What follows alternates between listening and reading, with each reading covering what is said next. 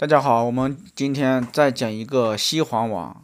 西黄王主要用于热毒痈滞所致的痈疽疔毒、瘰疬、癌肿、瘤柱。那什么叫瘤柱呢？瘤柱是个中医病名，它是发生在肌肉深部的转移性多发性脓肿为表现的全身性感染性疾病，相当于是西医的脓血症。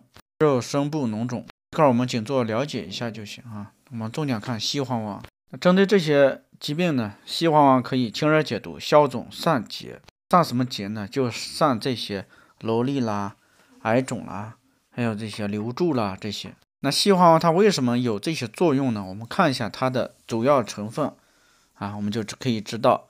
首先它有人工牛黄，还有麝香啊，麝香啦、牛黄这些都是非常贵重的一些中药。此外还有。制乳香和制没药，牛黄在这里的作用呢，主要是清热解毒。当然，牛黄还有其他作用啊，但是体现在这里呢，主要是它的清热解毒的作用。然后我们的麝香呢，这个我们后面会讲到，它可以活血化瘀。乳香没药啊，这个可以消肿止痛，也可以活血化瘀啊，用于消肿止痛。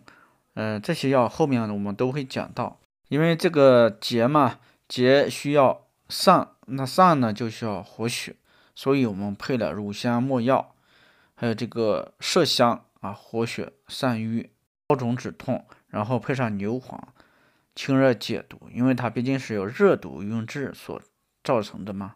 这个方子呢是呃孕妇要忌用啊，因为这里边有一些活血药了。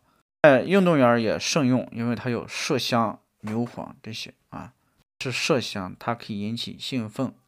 现在呢，用于各种肿瘤癌症的治疗以及辅助治疗，改善中晚期肿瘤患者的临床症状，提高生活质量。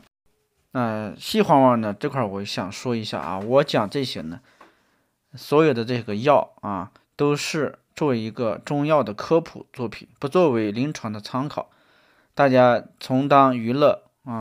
大家看了我的视频呢，千万不要随便用药。不要自己给自己自己给自己对症，乱用一些药物，这个千万不要。我们这个中医呢讲究辨证论治，上是症，用是药，你得有相应的症候，你才能用用相应的药物。所以自己不要随便用药啊。如果你想用中药的话，一定要看中医，在中医的辨证论治指导下，正确的使用一些药物。不要看了我的视频以后随便用药。啊，在这里我郑重声明，我的作品仅作为中药的一个科普，不作为临床的一个指导啊。好，西黄丸呢就讲到这里，感谢大家，下期我们再见。